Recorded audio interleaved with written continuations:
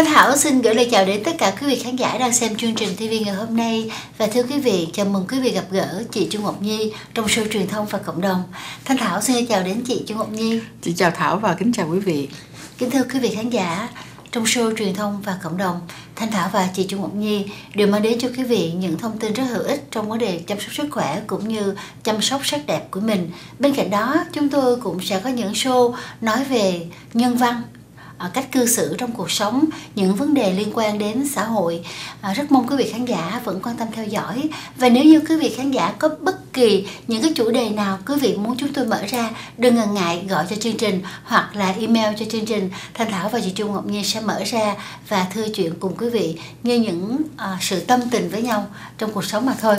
Thưa chị, ngày hôm nay thì em muốn nói về một cái chủ đề à, có vẻ như nó liên quan đến bệnh tật là nhiều hơn ừ. là vấn đề chăm sóc sức khỏe ừ. nhưng à, trong cái uh, bệnh tật này thì mình có thể là mình sẽ nghiên cứu được mình sẽ tìm hiểu được nguyên nhân tại sao ừ. đó là một căn bệnh mà ngày xưa đó thì em thấy rằng là hơi hơi cao tuổi mới bị ừ.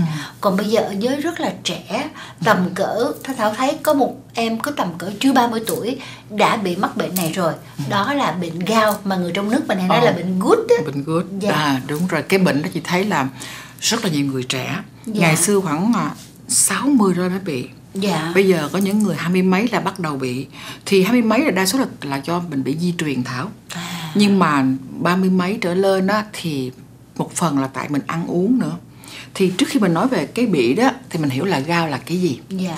thì gao là một một cái vật thể mà nó giống như là cái hình mà quý vị đang thấy trên màn hình nè là những những cái crystal những cái cạnh crystal bén nó nằm ở nó có sẵn trong người mình là cái uric nó gọi là cái urat là cái chất urat thì cái urat đó mà nó không có lọc qua thận được đó thì nó sẽ tạo thành cái uric acid mặt đó là nó nặng bởi vì đó là một cái vật thể crystal nó bén nó nặng cho nên phải rơi xuống cái phần thấp nhất cơ thể mình yeah. Dạ. đa số là từ đầu gối trở xuống yeah. Dạ. đó thì cái đó là một cái, cái crystal cho nên nó nằm ở trong cái khớp chân mình như thảo cũng có đó nha yeah. Dạ. chị cũng có nữa đó yeah. nhưng mà nó không có nhiều để mà dư ra thì thường thường nó nằm trong khớp á mà khi nó bị nhiều nó dư ra đó thì nó sẽ cứa vào những cái gân những cái chon những cái à, thịt của mình nó làm cho mình bị sưng bị đau nhức cái thịt của mình bị một cái chất bén mà nó cứ cứa hoài cứa hoài thì nó làm cho mình bị sưng bị tấy bị, bị bị tấy lên và bị đau nhức mà hành sốt luôn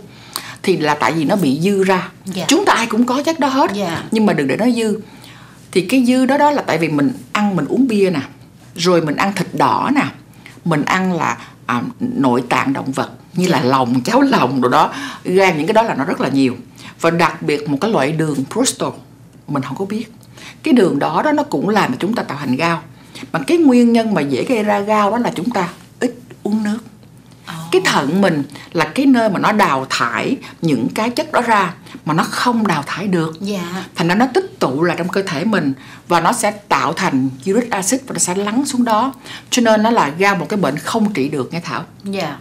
nhưng mình giúp nó không phát triển được nếu mình dùng đúng thuốc. Tại vì cái đây là một cái bệnh mà chúng ta dường như ai cũng bị hết yeah. Dạ. cái nguyên nhân đó là chúng ta um, nhiều nhất là từ cái ăn uống đó thảo uh-huh. một số người quen của thanh thảo á ví dụ ngày hôm trước á mà anh người đó uống rượu đi rượu đỏ uh-huh. đi là ngày hôm sau thế nào cũng đi cả nhắc uh-huh. mà cái sự chia sẻ của người mà thanh thảo quen á nói rằng mỗi lần đau á nó đau thốn tận tim mình đau lắm mà nó sốt luôn dạ. đi không được dạ. phải nghỉ làm như vậy thì à, ngoài những cái nguyên nhân đó là uh-huh. ăn uống rồi à, à, là ờ, rồi nó nó nó lọc không được qua cái thận của mình. Đúng rồi. Rồi nguyên nhân là di truyền nữa. Di truyền thì ít lắm thảo. Dạ. À, di truyền ít lắm tuổi tác thì nó không có liên quan. Tuổi tác không liên quan. Với một cái người trẻ hai mấy tuổi mà à, người ấy là cái người là uống bia nhiều dạ. thậm chí họ không uống bia không uống rượu mà họ thích ăn lòng động vật dạ. hay họ thích ăn thịt đỏ nhiều dạ.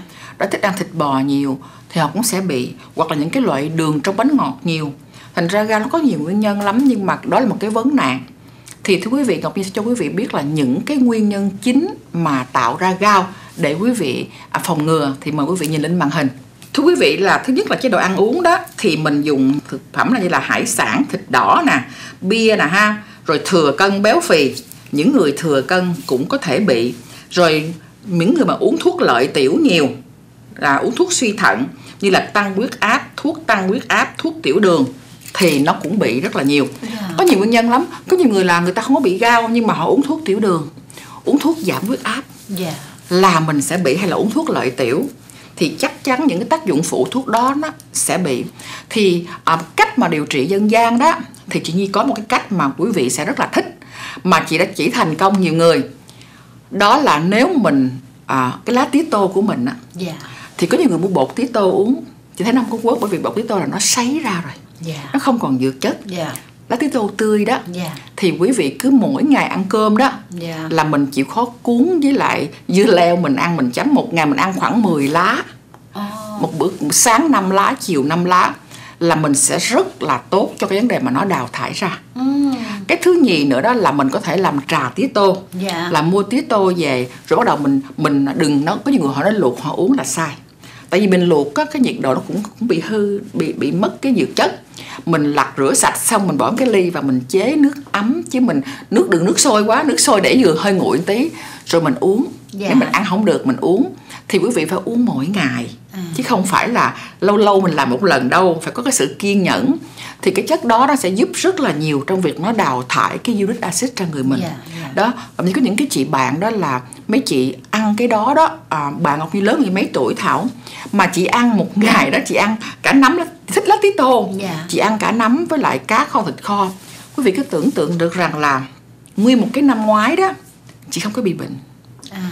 Chị không có bị tại vì nó không có tạo thêm cái cái cái cái hàm lượng mà uric acid nữa yeah. Dạ. thành ra cái ăn uống của mình là cái mà quý vị cần quan trọng nhất chứ cái gao đó cũng như thấy có những cái loại thuốc ở ngoài thị trường là người ta làm thành những cái viên bột đó thì chị thấy yeah. Dạ. cái tác dụng nó ít hơn à. là bởi vì nó đã sấy khô rồi yeah. Dạ. thì chị có ra một cái loại mà chị ra được hình như là 6 tháng nay yeah. là cái loại siro siro nó giống như cái chai siro mình đó yeah. thì nó có cái ống yeah. Mỗi ngày mình uống một ống là 1.75 thì mình uống trước khi mình ăn cơm tối. Dạ. đó từ ăn cơm tối hay có thịt cá hay ăn trưa. Dạ. mình uống trước khi mình ăn cơm tối uống xong là ăn cơm tối liền thì cái thuốc đó đó nó giúp cho những cái chất như thịt đỏ nè à, những cái chất mà tạo ra uric acid đó nó sẽ đi theo cái đường tiểu mình ra yeah. cái thuốc rất là hay mình uống vào trước khi mình ăn yeah. thì khi mình ăn đó thì nó không giữ được cái urat để tạo thành cái uric acid yeah. Dạ. cho nó đào thải ra luôn yeah. Dạ. thành ra nó không tích tụ được mà thành cái gao cái gao là cái tích tụ lại được nhưng mà mình ăn cái uống thuốc mỗi ngày thì nó không có tích tụ được thì nó đào thải ra và những ngày mình không có ăn chất đó thì cái thuốc mình vẫn uống vào yeah. Dạ. thì nó giúp cho đào thải ra được bằng đường tiểu yeah. Dạ. thì cái đó chị thấy rằng là hiện giờ công ty mình đang phân phối rất là mạnh yeah. Dạ. à, một chai như vậy đó quý vị dùng được một tháng mà cứ một ngày bóp ống để vô miệng thôi Trực nó ngọt luôn. ngọt như siro đúng yeah. Dạ. rồi nhớ là trước bữa ăn yeah. thì trong cái chai đó đó nó có những chất gì yeah. mà nó tạo được ra cái chất mà đào thải cái gao thì mời quý vị xem trên màn hình để biết được là nó có những chất gì à, thưa quý vị trong đó đó nó có là cái trái là tart cherry cái thắt cherry cái nguyên nhân chính đó là chống oxy hóa, chống viêm và chặn cơn đau. Và đồng thời cái thác cherry đó nó giảm cái nồng độ axit uric và ngăn chặn sự sản xuất quá mức của axit uric. Thứ nhì đó là cái củ nghệ đó quý vị. Củ nghệ này đó là chúng tôi dùng cái tinh chất của nó để giúp giảm đau và giảm viêm, giảm các triệu chứng lên đến 94% làm dịu cơn đau và giúp bảo vệ cái dạ dày trong cái quá trình mình điều trị nó rồi cái um, cái hạt cần tây đó quý vị. Cái hạt này đó là nó giúp giảm co thắt và dịu thần kinh để mà ngăn chặn hư tổn tế bào và đồng thời giúp quý vị giảm huyết áp giảm cholesterol giảm cảm lạnh giảm cúm. Rồi cái uh, willow bark là một cái loại chiết xuất từ vỏ cây liễu trắng đó. Cái này nó cũng giảm đau à, đồng thời đó nó chống oxy hóa nó chống viêm và làm giảm triệu chứng sốt của bệnh gao rồi cái hạt của anh túc thì nó cũng giảm đau mạnh, giúp nâng cái ngưỡng chịu đau mình tăng lên, làm dịu cơn đau và tăng cường cái khả năng miễn dịch. Và cuối cùng, nó gọi là cây móng quỷ đó quý vị. Nó gọi là Devil Chlorus đó. Thì cây này đó là nó sử dụng để chữa sơ cứng động mạch, hỗ trợ trong vấn đề trị viêm khớp, trị gao, đau cơ, đau lưng và đau thắt những cơn đó. Thì trong cái chai này đó, nó có tất cả là dược thảo hết. Dạ. không có thuốc giảm đau à, nhưng mà tự những cái dược thảo đó nó làm giảm đau yeah. giảm sưng và đặc biệt là nó đào thải được cái uric acid ra khỏi đó cho nên một ngày đó là mình uống một ống thôi. Dạ. bơm là 1.75 thì chị thấy là nó rất là hay trong cái vấn đề trị gao thì quý vị có thể dùng thử yeah. Dạ. thì cái chương trình hiện giờ cũng đang có chương trình sale yeah. Dạ. thì um, Ngọc Nhi thấy đó là cái gao đó thảo mình không có ai mà trị được hết yeah, nó chỉ ngăn chặn cái thuốc này đó là nó ngăn chặn không cho cơ thể mình tạo thêm ra cái hạt crystal yeah.